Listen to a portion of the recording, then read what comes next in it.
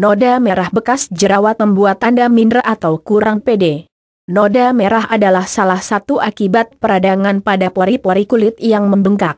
Timbul karena jerawat mengalami inflamasi yang serius, sehingga ketika jerawat hilang, tetap ada noda yang ditinggalkan. Noda merah inilah yang biasa tampak dan sangat mengganggu.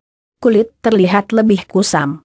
Noda merah bekas jerawat jangan didiamkan sebelum makin membandel.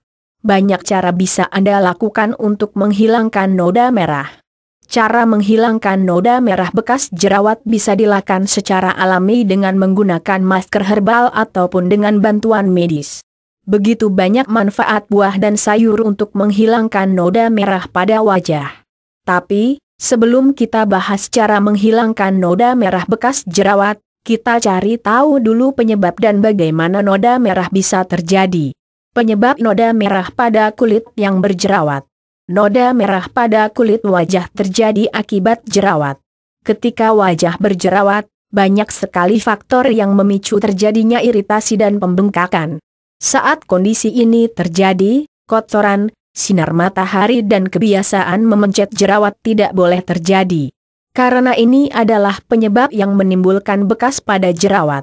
Saat Anda memencet jerawat, Tahukah bahwa kuku dan jari Anda adalah sarang kuman? Kuman akan masuk ke dalam luka jerawat dan akhirnya terjadi inflamasi. Ada tiga tipe terjadinya noda bekas jerawat dan salah satunya adalah post-inflammatory pigmentation, yaitu teradinya bekas jerawat berwarna kemerahan atau kecoklatan setelah jerawat sembuh. Inilah yang akan dibahas di sini. Untuk sekedar share buat yang mengalami noda kemerahan setelah berjerawat, Lakukanlah cara mengatasi noda merah bekas jerawat secara alami dengan bahan sayuran dan buah. Menghilangkan noda merah dengan masker tomat. Tomat memiliki kandungan vitamin yang tinggi. Salah satu manfaatnya terdapat pada liopene yang berperan untuk memudarkan noda-noda merah atau coklat pada kulit. Anda dapat mengaplikasikan masker tomat dengan cara menghaluskannya dan oleskan pada seluruh wajah. Diamkan selama 15-20 menit, kemudian bilas dengan air bersih. Menghilangkan noda merah dengan lidah buaya.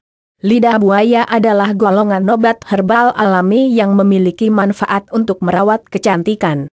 Selain baik untuk menjaga kekenyalan kulit, lidah buaya yang kaya vitamin E dapat menghilangkan noda bekas jerawat.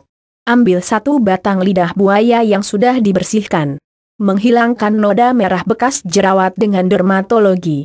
Noda merah juga dapat diatasi dengan bantuan medis di antaranya dengan perawatan dermatologi. Dengan kekuatan sinar laser yang mampu menembus permukaan kulit, maka secara perlahan akan memudarkan noda merah. Namun sebaiknya konsultasikan ke dokter sebelum Anda memilih cara ini. Menghilangkan noda merah dengan detoksifikasi. Detoksifikasi adalah proses pengeluaran racun dari kulit. Cara ini dapat membantu menghilangkan noda merah pada kulit yang dibantu OLH ahli atau pakar kecantikan. Selain itu, detoksifikasi juga dapat mencegah jerawat datang kembali, karena salah satu penyebab jerawat adalah bakteri dan bahan-bahan kimia yang menempel pada kulit. Apa pun cara yang Anda pilih, tetap pastikan aman dan tidak menyulitkan Anda. 4. Cara menghilangkan noda merah bekas jerawat di atas dapat Anda terapkan sesuai kebutuhan Anda. Yang penting, komitmen dan lakukan secara teratur agar noda merah dapat segera teratasi. Jika diperlukan, keempat, cara di atas bisa dikombinasikan satu sama lain. Demikian cara menghilangkan noda merah bekas jerawat secara alami yang sudah penulis bahas. Semoga bermanfaat.